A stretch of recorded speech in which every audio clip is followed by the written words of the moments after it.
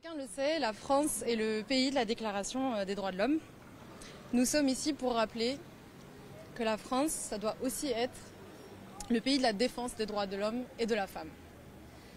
Et que ça ne peut pas être une simple déclaration, mais surtout et plutôt une lutte politique de tous les instants. Il y a quelques mois, c'est en tant que citoyenne que j'avais rejoint euh, l'ensemble de ces mobilisations.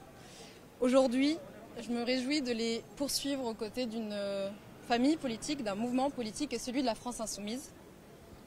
Mouvement qui n'a eu de cesse de rappeler euh, la nécessité de se référer au droit international pour appeler un cessez-le-feu et euh, pour une paix euh, durable entre Israéliens et Palestiniens.